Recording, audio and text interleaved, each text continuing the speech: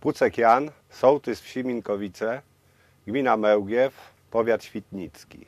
Y, Mamy bardzo duże problemy ze szkodami polowymi, które te straty są związane ze zwierzyną leśną. Jest bardzo duża populacja zwierzyny leśnej na terenie tutaj okręgu łowieckiego Łoś.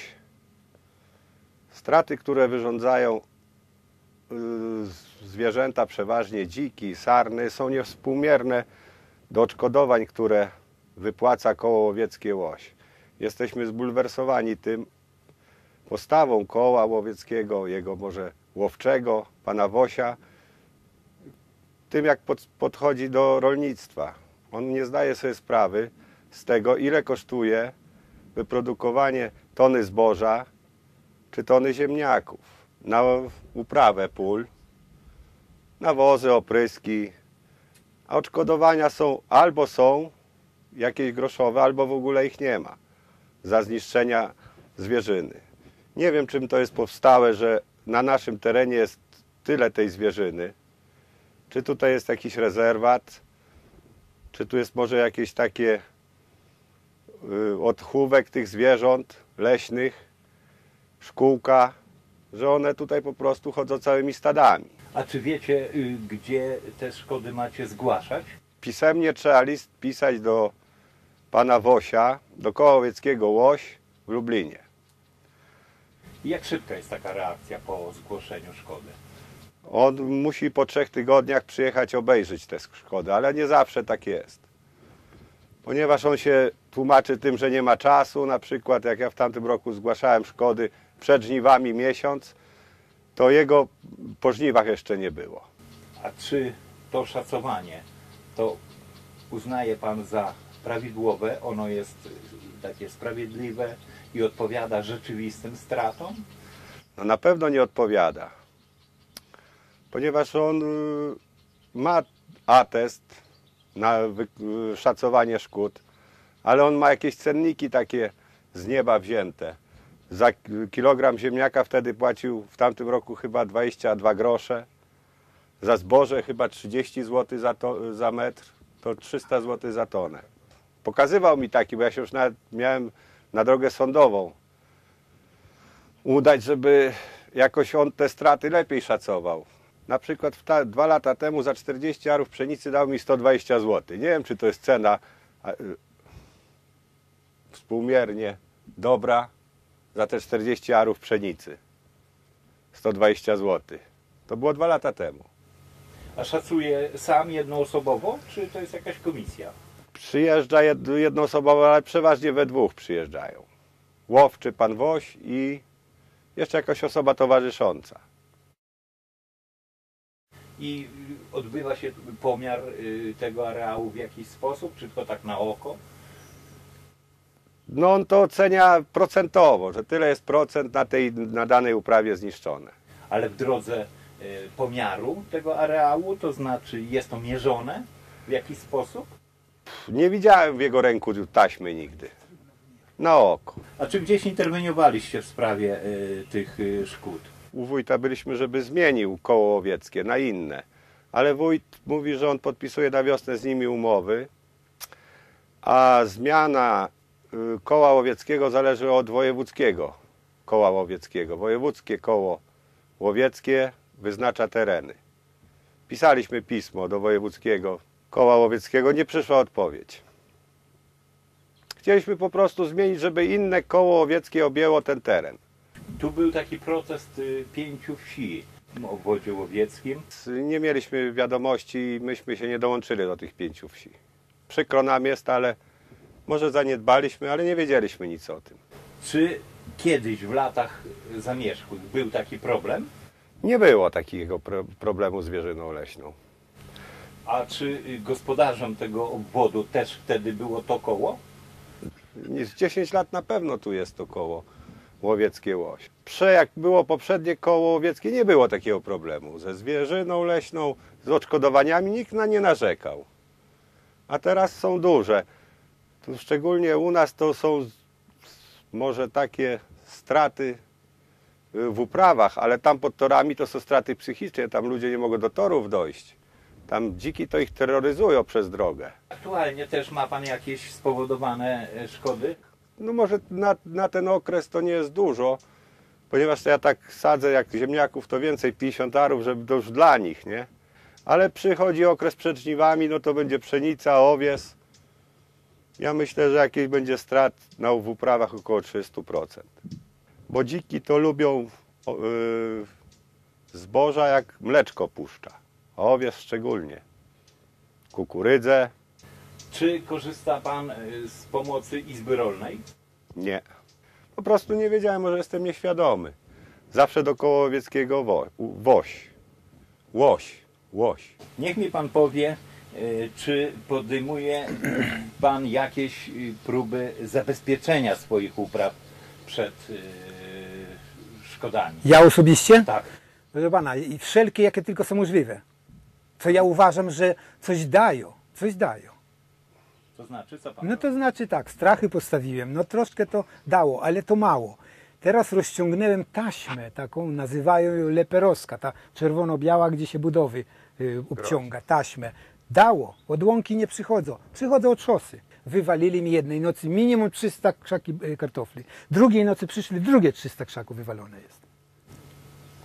A czy koło łowieckie w jakiś sposób e, doradza lub pomaga? No to już mówię, y, nie mogę powiedzieć, że y, powiedzmy po interwencji mojej nie przyjeżdża. Przyjeżdża pan Woś. No cóż tu można zrobić? Twierdzi, że te taśmy mi nic nie dadzą. Ja mówię, no tamtej, na tamtej stronie, co miałem ziemniaki, dały. Bo w zimie nawet były ślady, doszły do taśmy i się wróciły. Po śniegu były ślady. Więc y, zostawimy to taśmę. Pan Woś mówi, że pobijemy paliki i tym smrodkiem takim, jakąś tam szmatkę na, nasączył tym smrodkiem. Miałem mieć tydzień czasu spokój, a po tygodniu pan Woś miał przyjechać, ponowić smrodek. Na drugi dzień po tym y, wbiciu tych palików i tych smrodek przyszły dziki na drugi dzień. 300 krzaków ziemniaków. Y, no najbliżej to do metra były przy tym paliku smrodka, dziki. No mówię teraz komu wierzyć? A niech mi pan powie, bo opowiadał mi pan, że e, z psem pilnował pan upraw. Cały czas psy puszczałem na łąkę, proszę pana. I co z tego? Jednego psa mi rozwalili na pół. Kto? Dziki. Rozpruli bok. A skąd pan wie, że to dziki? No a kto by mu tak bok rozwalił? U Bochniarzowej na łące leży. Leżał. Bo on nie zginął. Wypuszczałem dwa psy, duże psy, żeby trochę ich odstraszały. One się bały, tych dzików, te psy, ale troszkę odstraszy ich, tak nie puszczali ich w ziemniaki. I mnie zawiadamiali, co najważniejsze. I nie było, powiedzmy, nocy, żebym nie wstawał. Petardy rzucałem.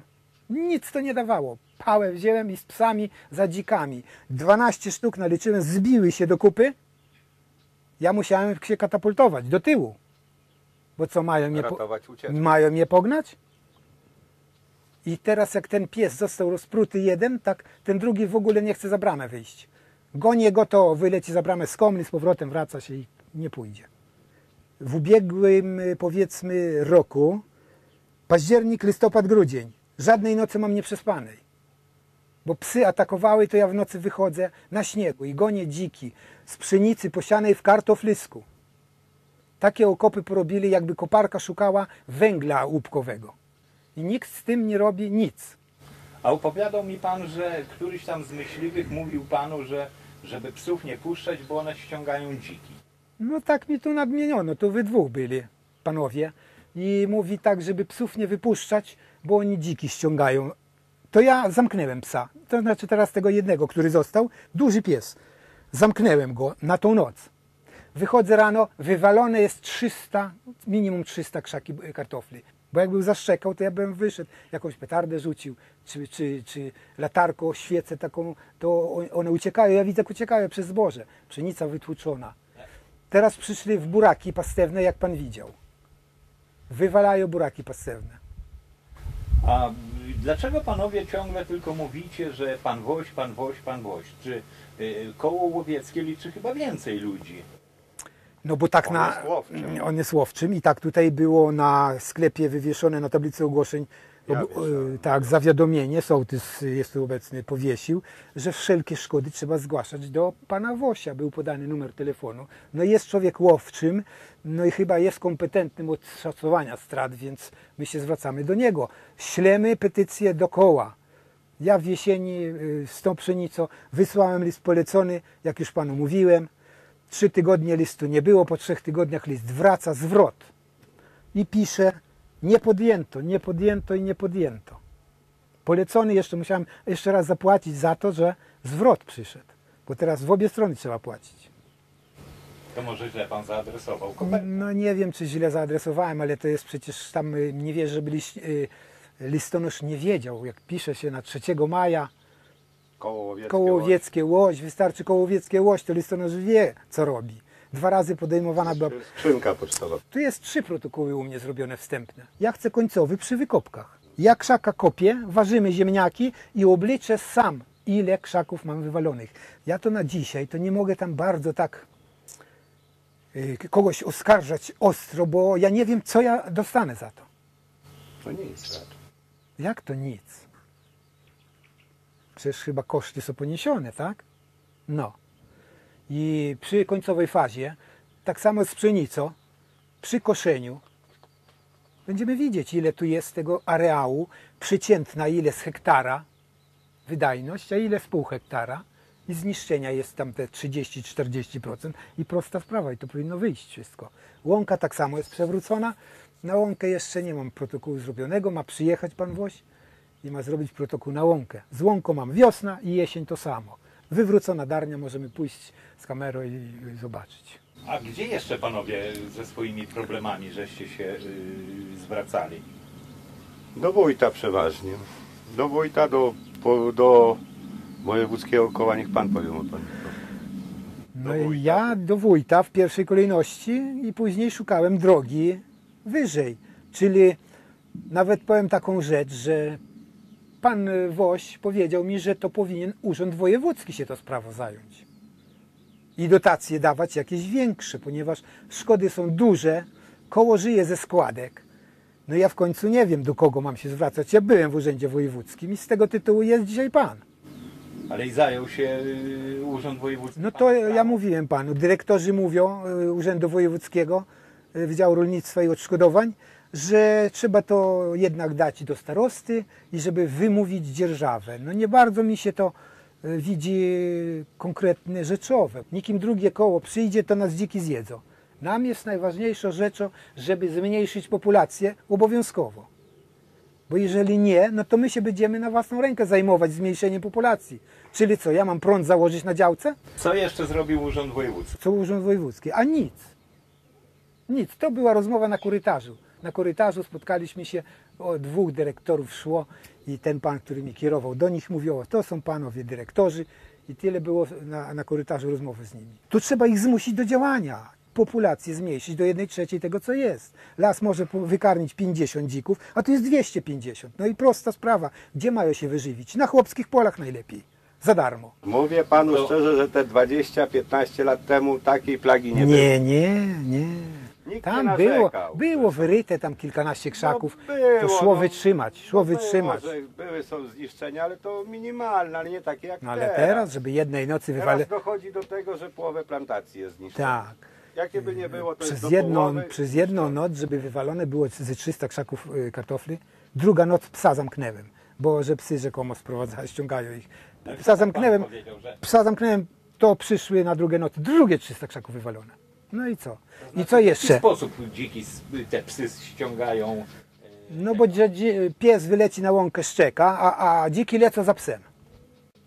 Psa gonią. No to jak gonią psa, to nie dojeść. No i nie wiem, nie wiem. W każdym razie ja i tak będę wypuszczał, bo jakbym nie wypuszczał psa, no to bym w ogóle nie wiedział, że dziki są. Ja wychodzę 12 w nocy, dru- punktualnie przychodzę 12 w nocy albo druga w nocy. Punktualnie, co noc. Ponieważ protokoły wstępne są porobione przez łowczego, końcowy protokół będzie przy wykopkach i przy żniwach, pszenica powiedzmy. Jeśli będzie to odszkodowanie na otarcie OS, Jak zwykle. Jak, Jak zwykle nie ulega wątpliwości, że wnoszę sprawę do sądu i to może być nawet pozew zbiorowy, bo nie tylko ja. Tak, tak.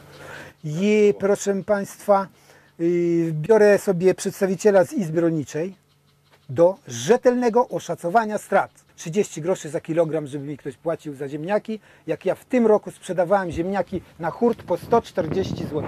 I sadzeniak i, i, i, i jadalne. Wie, na, na wiosnę. 140 zł kilogram.